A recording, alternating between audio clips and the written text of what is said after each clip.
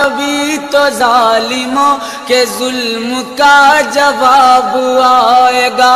यकीन है मुझको ऐ के इनकलाब आएगा। अभी तो मेहंदी आएँगे, पयाम में अमन लाएँगे। हर एक देगा ये सदा मोहम्मद नबी ना रमज़ानुल मुबारक के अंदर हमें इसके लिए अमली कोशिश करनी चाहिए। हर साल रमज़ानुल मुबारक आता है और गुजर जाता है और हम जहाँ हों, वहीं के वहीं खड़े रहते हैं। या दो कदम पीछे सरक जाते हैं तो हमें सोचना चाहिए, ज़िंदगी बार बार नहीं मिलती। ये अल्लाह की नेमत है, ये अल्लाह की करम नवाजी है। तो ज़िंदगी के जिस मरहले पर भी हैं, बचपन है, लड़कापन है, जवानी है, बुढ़ापा है सन्ने कहूलत है, जहाँ भी खड़े हैं, आप देखें कि गुजरे हुए कल से आने वाला कल बेहतर नहीं है तो आप हलाकत की तरफ़ सफ़र कर रहे हैं। और अगर आपके गुजरने वाले दिन से आने वाला दिन बेहतर है तो ये आपके लिए रहमत और राहत का ज़रिया है। तो इसलिए मैं और आप देखें कि हम रमज़ान मुबारक से क्या ये मतलूबा फ़वाद हासिल कर सकते हैं, कर रहे हैं या नहीं। तो हम अपना जायज़ा लें। अभी पूरा महीना हमारे पास पड़ा हुआ है। हम अज़म करें कि हम अपनी ज़ुबान को कंट्रोल करेंगे, हम बुरी मजलिस में नहीं बैठेंगे, हम अपनी आँखों पर हया के पहरे बैठाएँगे, अपने ख़यालात को काबू में रखने की कोशिश करेंगे। भूख और प्यास से, नफ्स अम्मारा की ख्वाहिशात कम होंगी और शैतान के बनने की वजह से गुनाह के इम्कानात कम हो जाएँगे, नेकी के माहौल पैदा हो जाने की वजह से अच्छाइयों के रास्ते मिलेंगे। तो हम इस माह रमज़ानुल मुबारक को इस तरह से गुजारें कि हम एक नई ताज़ा और ख़ूबसूरत ज़िंदगी लेके माह रमज़ान के बाद जो है वो अपने आप को खैर की राहों पे महसूस करें। ये एक अल्लाह ताला ने हमारे लिए ऐसा महीना रखा है जिसमें हम असर नौ अपनी ज़िंदगी को मुरतब करते हैं। ये एक नया ट्रेंड सेट करता है ये महीना। और ये माह मुबारक हमारी ज़िंदगी के अंदर जो है वो एक नज़म पैदा करता है। इसमें हम जो है वो अल्लाह से, उसके रसूल से किताबुल्ला के साथ, नेक लोगों के साथ, मस्जिद के साथ, कुरान मजीद के साथ जुड़ जाते हैं। और अगर हम उसके अंदर पूरा खलूस और पूरी लाहियत को शामिल करके अपने आप को संवारने के पूरे अज़म के साथ अल्लाह से तोफ़ीक़ात मांगते रहेंगे तो फिर हम इस सांचे से एक सुथरे, पाकिज़ और ख़ूबसूरत इंसान बन के निकलेंगे। तो इसलिए हमें चाहिए कि ये मुबारक महीना जो अल्लाह ने हमें नसीब किया, इस महीने को अच्छे तरीके से हम गुजारें। तकवे का हसूल जो इस महीने के रोज़ों का मकसूद है, वो हम अपने अंदर पैदा करें। और माह श्याम का माहौल तकवा देता है, माह श्याम का बातनी नूर तकवा देता है, माह श्याम के अनवार तकवा देते हैं, रोज़ा तकवे की नशात का ज़रिया है, तकवा पैदा करता है तबाह के अंदर और एक नई खूबसूरत ज़िंदगी का आगाज़ होता है। तो मैं अपने जुमला नाजरीन से, जुमला नाजरात से, सामीन और सामयात से ये कहूँगा कि वो इस मुबारक महीने की बरकतों को खूब खूब लूटें और पूरी तरह से इसके अनवार को अपने अंदर जज्ब करें। जो रोशनियाँ और जो फ़ज़ाओं के अंदर नूर बिखरा हुआ है, उसको अपने अंदर उतार लें और पूरी तरह से अपने अंदर उसको जज्ब कर लें। पूरा महीना जब एक पाकिज़ा माहौल में आप रहेंगे और शुरूर से, शर से, बुरी मजलसों से, बुरे जलीस से आप बचने की कोशिश करेंगे तो एक महीना तबा के अंदर एक मौसर तब्दीली लाने के लिए काफ़ी होता है। और फिर अल्लाह ताला ने हमारे लिए ये करम नवाजी किया है कि हर अमल का अजर सत्तर गुना बढ़ा दिया है। तो गोया हम एक कदम उठाते हैं तो सत्तर कदम आगे बढ़ जाते हैं। तो ये हमारा सफ़र तेज़ कर दिया जाता है और हम तेज़ी के साथ चल रहे होते हैं। और एक महीना गोया सत्तर महीनों के बराबर हो जाता है। तो सत्तर महीने मुसलसल बंदा एक नेकी के माहौल में रहे। तो उस सांचे से जब बाहर निकले तो फिर वो कैसा निखरा हुआ और पाकिज़ा इंसान होगा। तो इसलिए हमें इस एक महीने को पूरी तवज्जो के साथ सर्फ करना चाहिए और इसके एक एक लम्हे की कदरदानी करनी चाहिए। तो देखना फिर ये महीना किस तरह ज़िंदगी के अंदर एक नई खूबसूरत तब्दीली पैदा करता है। मैं आप सब लोगों के लिए दुआ करता हूँ कि अल्लाह इस माह मुबारक को, इस माह रहमत को, माह नूर को मेरे लिए, आपके लिए करम नवाजियों और रहमतों का ज़रिया बनाए और अपनी ख़ास करम नवाजियों से हम सबको माला माल करे। अल्लाह आपका, मेरा, हामी नासिर हो। माह श्याम रमज़ानमबारक अपनी तमाम तरानाइयों, रूहानी बरकतों और रहमतों को दामन में लिए जलवा गर हुआ। ये वो मुबारक महीना है जिसके बारे में इरशाद फरमाया गया कि अगर मेरी उम्मत को पता चल जाए कि माह श्याम रमज़ानमबारक है क्या तो वो आरज़ू करे कि पूरा साल ही रमज़ान हो। अल्लाह ताला जल्ला शाहू की रहमतें जिस फरावानी के साथ इस महीने में बरसती हैं, वो किसी और दूसरे महीने का मकसूम नहीं है। जन्नत के आठों दरवाज़े खोल दिए जाते हैं। जहन्नुम के दरवाज़े बंद कर दिए जाते हैं और फरमाया के माह श्याम में शयातीन जकड़ दिए जाते हैं। अल्लाह की रहमतों और करम नवाजियों की लूट से लग जाती है। एक फ़र्ज़ अदा करने से सत्तर फ़र्ज़ों का सवाब नसीब होता है। और एक नफल की अदायगी पर एक फ़र्ज़ का सवाब अता किया जाता है। और ये ख़ास इनायत और रियायत सिर्फ़ इसी माह मुबारक में होती है। इसलिए अहल ईमा इस मुबारक महीने में कसरत के साथ इबादत करते हैं, सदका व खैरात करते हैं। कुरान मजीद की तिलावत मामूल से ज़्यादा करके नवाफिल की अदायगी से अपने रब की रज़ा जोई के लिए कोशां होते हैं। इसीलिए फरमाया, जिसने झूठ और झूठे काम नहीं छोड़े, उसके भूखा और प्यासा रहने की अल्लाह को कोई ज़रूरत नहीं है। तो वो ये चाहता है कि मेरे बंदे उन उमूर से भी जब रुक जाएँगे, जिन उमूर से आम ज़िंदगी में नहीं रोका गया तो वो लाजमी तौर पे उन उमूर से रुकने की कोशिश करेंगे। जिन उमूर से उसे मना किया गया है। तो ये तकवा पैदा करने के लिए, हिज़म एहतियात पैदा करने के लिए ये उसके ऊपर रोज़े फ़र्ज़ हुए थे। आप ये ख्याल कर सकते हैं कि भूख और प्यास काटने से क्या तकवा का हसूल मुमकिन है, जो कि मकसद है रोज़े का? इरशाद फरमाया, तुम्हारे ऊपर रोज़े फ़र्ज़ किए गए हैं, जिस तरह तुमसे पहलों पे फ़र्ज़ किए गए। क्यों? लाकुम तत्तकून, ताकि तुम्हें तकवा नसीब हो, इत्तिका की दौलत मिले। तुम अल्लाह ताला से डरने वाले हो जाओ। तो क्या भूख और प्यास काटने से अल्लाह की खशियत, अल्लाह ताला का खौफ हासिल होता है? तो एक तो बात वही जो मैंने अभी कही कि जब आप उन उमूर से भी रुक जाएँगे, जिन उमूर को आम ज़िंदगी में मुबार रखा गया है तो फिर आप शौरी तौर पे उन चीज़ों से क्यों नहीं रुकेंगे जो आम ज़िंदगी के अंदर भी मना किए गए हैं? तो जब ये चीज़ इंसान का फहम, इंसान की अकल और इंसान की खिरत तय करती है तो फिर लामहला तौर पे रुकने की आदत उसके अंदर तकवे की नशत का ज़रिया बनती है। तो ये नफ्स अंदर का दुश्मन है। अंदर बैठा हुआ, छुपा हुआ दुश्मन है। और शैतान बाहर से आके हमलावर होता है। माह श्याम में अल्लाह ने हमारे लिए ये आसानी पैदा कर दी कि एक दुश्मन बाँध दिया, अब दूसरा दुश्मन सिर्फ़ नफ्स मौजूद है।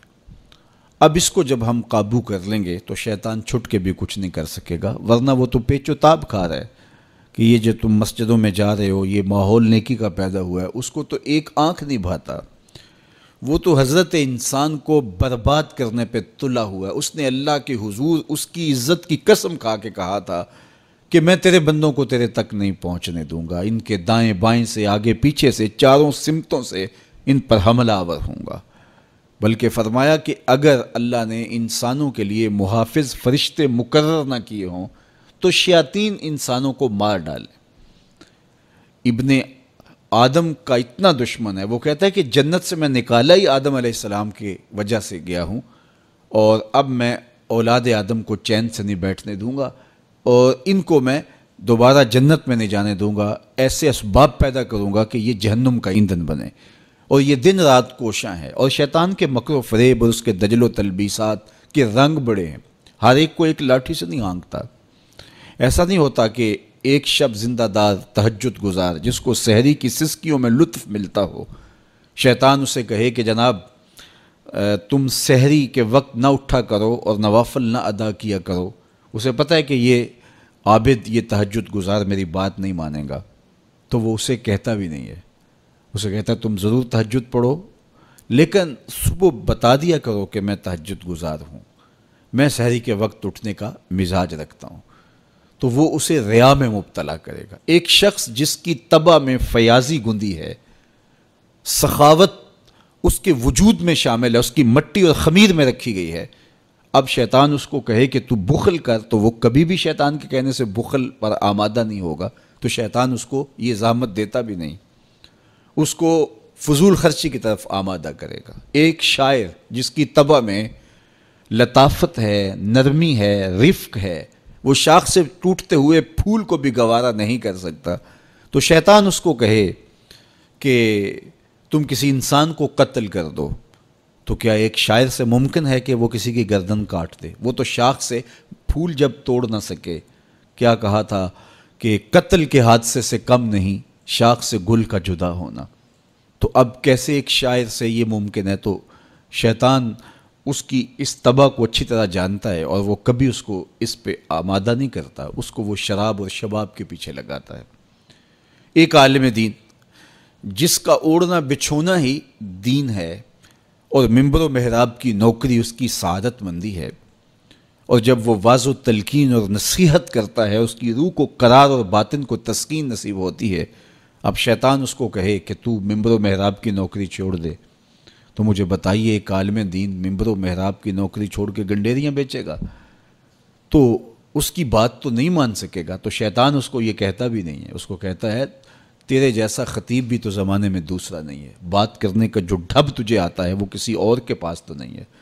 जितना इल्म तेरे पास है, सुगरे कुबरे मलाने का जो फ़न तू जानता है, लफ्ज़ों की खाल उधेड़ने का मिजाज जो तेरे पास है, इल्मी मुँह शगाफियाँ और दकायक का जो इल्म तेरे पास है, वो किसी और के पास भला कब है?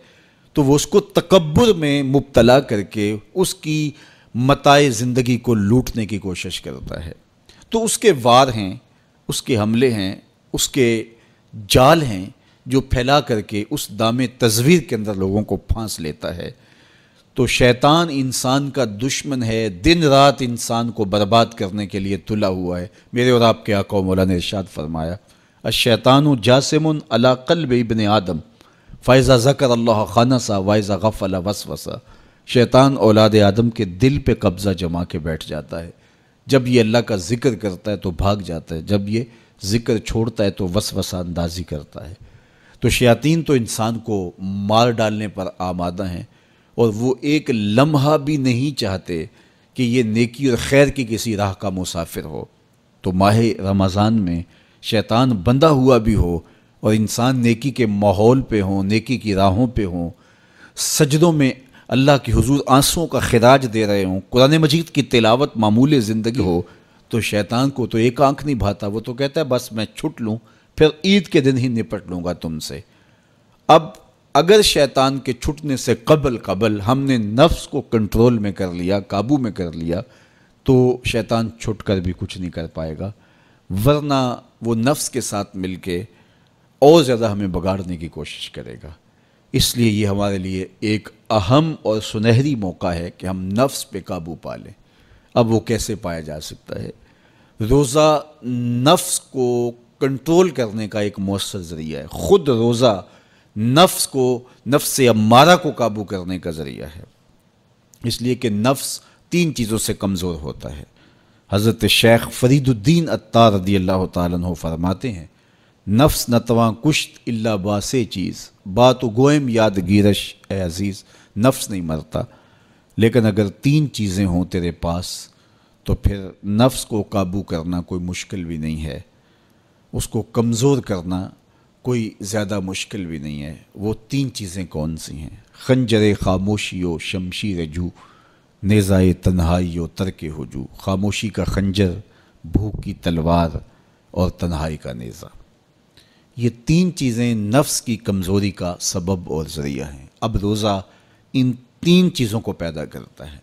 भूख और प्यास के ज़रिए से नफ्स कमज़ोर होता है तो रोज़ा भूख और प्यास है।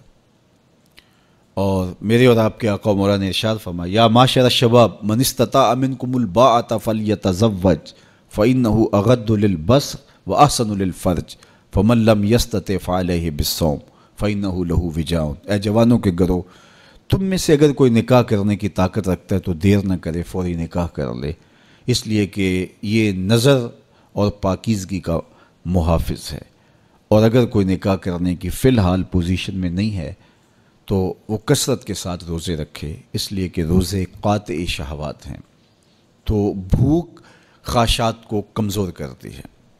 दूसरी बात, तन्हाई, ये मजलस के शर से बचाने का ज़रिया है।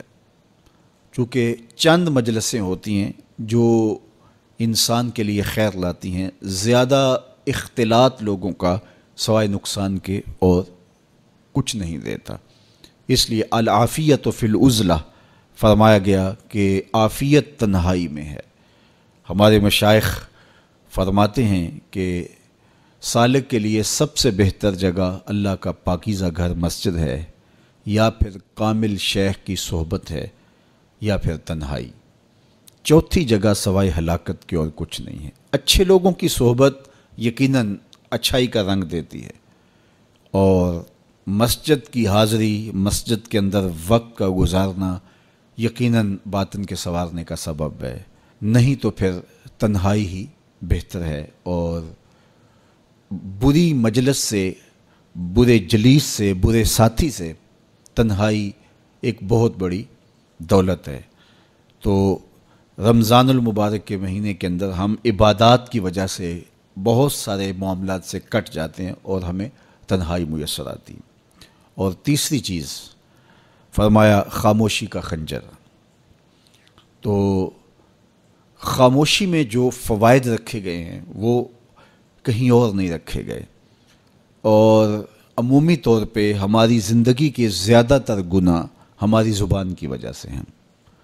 गीबत ज़ुबान की वजह से होती है, झूठ ज़ुबान की वजह से होता है, बहतान ज़ुबान की वजह से है सब्बो शतम ज़ुबान की वजह से है। सबसे ज़्यादा गुना इंसान की ज़िंदगी में नामा अमाल में उसकी ज़ुबान की वजह से दर्ज होते हैं। मेरे और आपके आका मौला ने फरमाया था, जो तुम्हारे दो जबड़ों के दरमियान, यानी तुम्हारी ज़ुबान और तुम्हारी पारसाई की जगह, इन दो चीज़ों की तुम मुझे ज़मानत दे दो, मैं तुम्हें जन्नत की ज़मानत दे देता हूँ। तो रमज़ानमबारक के अंदर हम रोज़े की वजह से और दीनी मसरूफियात की वजह से अपनी ज़ुबान को भी कंट्रोल कर पाते हैं। फरमाया कि अगर तुमसे कोई शख्स उलझे तुमसे कोई लड़े, कोई बहस करना चाहे तो तुम कहो, इन्नी साइमन, मैं तो रोज़ादार हूँ। तो ये कह के आप अपनी जान छुड़ा सकते हैं। तो ये वो तीन चीज़ें हैं जो नफ्स को कमज़ोर करती हैं। माह श्याम में क्या होता है? जिस तरह कि आपने अभी हुजूर अलैहिस्सलाम की मुबारक हदीस का मफहूम सुना कि जब माह श्याम आता है तो जन्नत के दरवाज़े खोल दिए जाते हैं, जहन्नुम के दर बंद कर दिए जाते हैं। और शयातीन जकड़ दिए जाते हैं। वसुल से लत शयातीन। तो शयातीन जकड़ दिए जाते हैं। तो हमारे दो दुश्मन थे, नफ्स और शैतान। शयातीन जकड़ दिए गए। अब हमारा दुश्मन नफ्स मौजूद है। नेकी का जो माहौल पैदा हुआ, आपने देखा कि आम नमाज़ों के अंदर भी जो लोग शामिल नहीं होते थे, सलात तरावी में खड़े दिखाई दिए। और अभी नमाज़ फ़जर के अंदर जो हजूम आशका आपको दिखाई देगा, दिल बाग बाग हो जाएगा। इस तरह पाँचों नमाज़ों में नेकी का माहौल पैदा हो जाना, सदका व खैरात का माहौल पैदा हो जाना, तबीयतों में रिफ्क और नरमी का आ जाना, और बहुत सारी चीज़ें हैं जो माह श्याम की बरकत से हमारे अंदर पैदा होती हैं। तो ये माहौल जो खैर का, भलाई का, रहमत का, नेकी का पैदा होता है, ये शयातीन के बंद जाने की वजह से होता है। और इसके बावजूद भी बहुत बुराइयाँ मौजूद हैं। माह श्याम के अंदर गरां फरोशी है, ज़ख़ीरा अंदोज़ी है, कम तोला जा रहा है, रिश्वत का बाज़ार गर्म है, बहुत सारे ऐसे मामला हैं जो उसी तरह हो रहे हैं। तो जब शैतान बंद गया तो ये क्यों हो रहे हैं? नफ्स मौजूद है। तो नेकी का माहौल पैदा हो जाना ये शैतान के बंद जाने की वजह से है और गुनाह का फिर भी मुसलसल मौजूद रहना ये नफ्स के मौजूद होने की वजह से है। अब माह श्याम के अंदर हमारे लिए ये सहूलत हो गई कि हमारे दो दुश्मनों में से एक दुश्मन बाँध दिया गया और वो है शैतान। अब हमारा मुकाबला सिर्फ़ एक दुश्मन से है और वो है नफ्स। अगर नफ्स का हम मुकाबला कर लेंगे तो शैतान छुट के भी हमारा कुछ नहीं बगाड़ सकता, इसलिए कि वो मौसर होता है नफ्स के साथ मिल के अंदर का भेती जब तक ना मिला हो तो बाहर से आकर हमलावर कुछ नहीं कर सकता। तो जब तक अंदर के गद्दार, अंदर के मिले हुए शख्स कौमों को बर्बाद ना करें तो कौमें बर्बाद नहीं होती। कौमें अपने पाँव पे खड़ी रहती हैं। हमने तारीख़ आलम का मताल किया है, ये चीज़ हमें मिलती है।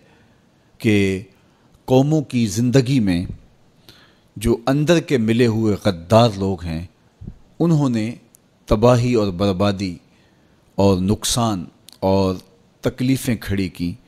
और अगर वो अंदर से मौजूद ना हो तो बाहर के दुश्मन उस कदर नुकसान नहीं दे सकते।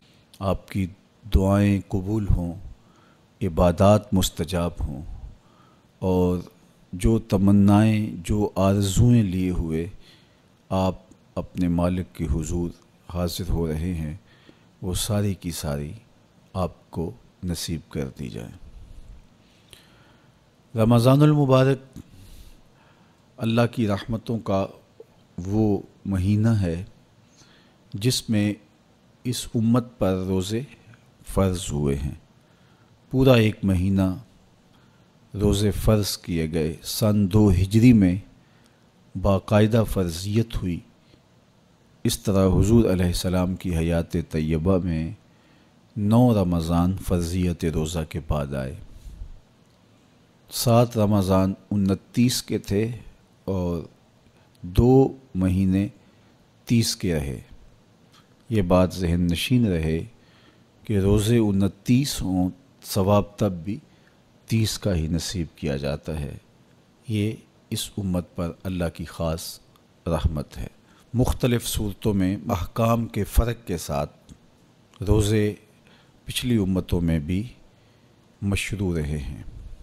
किताब रहमत कुरान मजीद से जो कलिमात मैंने आपके सामने रखे हैं, उनमें यही इर्शाद फरमाया गया, ए ईमान वालो, तुम्हारे ऊपर रोज़े फ़र्ज़ किए गए हैं। जिस तरह तुमसे पहलों पर फ़र्ज़ किए गए, ताकि तुम्हें तकवे का नूर नसीब हो। तुम मुत्तकी बन जाओ, तुम्हें परहेजगारी मैसर आए। तो हर उम्मत पर किसी न किसी तरह से रोज़े फ़र्ज़ किए गए थे। लेकिन इस उम्मत को कामिल महीने के रोज़े नसीब हुए। रोज़ा फ़र्ज़ क्यों किया गया? सवेर से लेकर शाम तक सब कुछ होने के बावस्फ भूख और प्यास में वक्त गुजारना और मुयसर होने के बावजूद एक घूंट भी हलक से नीचे न उतरने देना आखिर इसमें क्या हिकमत थी? तो ये बात अच्छी तरह से हमें समझ लेनी चाहिए कि ये सिर्फ़ खाने पीने को तर्क कर देना ही नहीं है, बल्कि उन मकासद जलीला के हसूल के लिए रोज़ा रखा जाता है जो मोमिन की ज़िंदगी का मकसूद है। और अगर कोई शख्स खाना पीना तो तर्क कर देता है, लेकिन उन उमूर से नहीं रुकता, जिन उमूर से रोकना इन रोज़ों का मकसूद था तो उसका रोज़ा रोज़ा नहीं कहलाता। मेरे और आपके आका मौला हुजूर नबी रहमत सल्लल्लाहु अलैहि वसल्लम ने इरशाद फरमाया मल्लम यदा कौल ज़ूर वल अमल बही फ़लैसल्ला हाजतनफ़ी यदा तामह व शराबहू।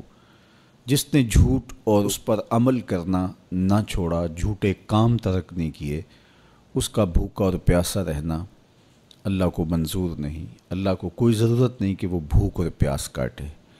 रोज़े में तो उन उमूर से भी रोक दिया गया, जो उमूर आम ज़िंदगी में जायज़ थे।